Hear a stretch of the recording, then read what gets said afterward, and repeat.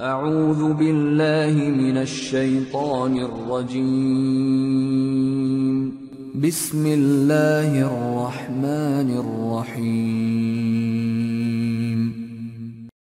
إن إبراهيم كان أمة قانتا لله حنيفا ولم يك من المشركين.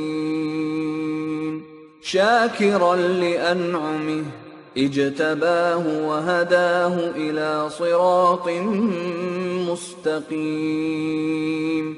وآتيناه في الدنيا حسنة وإنه في الآخرة لمن الصالحين.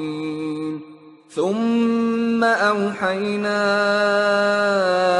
إليك أن اتبع ملة إبراهيم حنيفا وما كان من المشركين. إنما جعل السبت على الذين اختلفوا فيه.